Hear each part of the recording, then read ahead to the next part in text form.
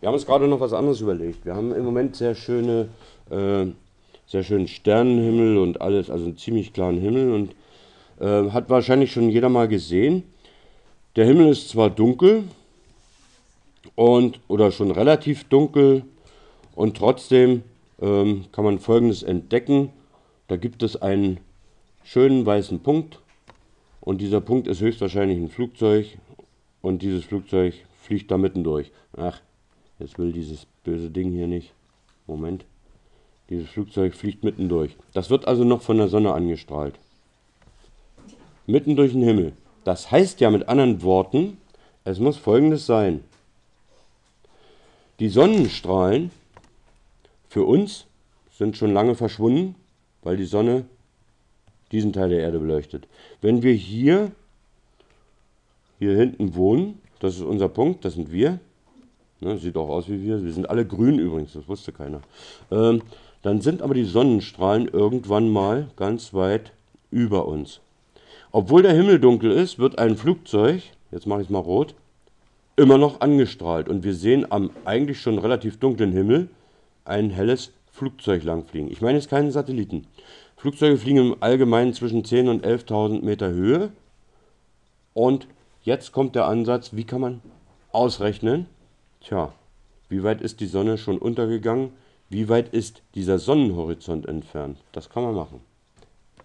Jetzt haben wir uns mal eine Skizze überlegt. Das sei hier die Sonne. Also ich habe das mal extra, damit es besser auffällt. Das ist die Sonne. Habe ich das mal in Orange gemacht. Nicht in Aubergine, das kommt später.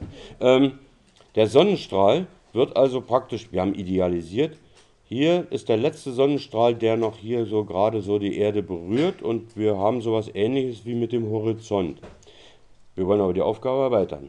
So, also, wie kann man rechnen? Man kann sagen, in Aubergine einen rechten Winkel einen Malen und dann haben wir verschiedene Strecken und dann rechnen wir aus. Wir wollen aber nicht wissen äh, oder nur begrenzt wissen, wie weit es ist. Wir werden mal sehen. Äh, wir haben jetzt gerade ausgerechnet, dass der Mann hier oben im Flugzeug 375 Kilometer weit gucken kann, wenn er gerade so die Sonne am Untergehen sieht. Das Flugzeug wird gerade noch so beleuchtet. Jetzt sind wir mal überlegen, wie weit ist denn das? Ja, das ist weit, aber jetzt kommt die nächste Frage. Wie lange ist die Sonne für uns hier im grünen Punkt schon untergegangen? Das haben wir geschätzt, eine halbe Stunde oder sowas könnte alles sein. Also in 11 Kilometer Höhe sieht er sie untergehen. Für uns ist es schon untergegangen, aber wie lange ist das? Gehen wir mal von einer Überlegung aus, vielleicht kommen wir dann weiter. Und zwar von folgender Überlegung. Ähm, schnell mal wieder einen Kreis, der muss jetzt genügen.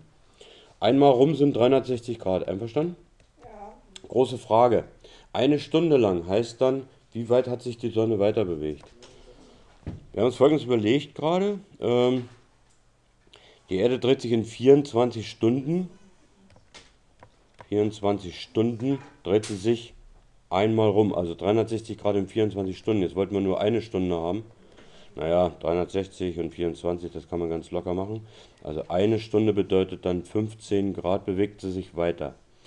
Hm, wie kommt man aber jetzt mit so einer ähnlichen Beziehung an dieses Problem heran? Ähm, seid ihr einverstanden, dass man sagt, zwar ist die Erde kugelförmig, aber 375 Kilometer ist x hier oben. Das ist doch so ähnlich hier auf dem Kreisbogen auch. Einverstanden? Okay. Was kann man jetzt also demzufolge machen? Also ich bin jetzt davon ausgegangen, dass ähm, 360 Grad den 40.000 Kilometer dem Umfang der Erde entspricht. Und dann habe ich daraus eine Verhältnisgleichung gebildet und die dann umgestellt und ausgerechnet. Und dann bin ich auf 3,375 Grad gekommen. Und wenn man dann hier von, äh, wenn man dann von hier oben ausgeht, dann entspricht das 13 Minuten.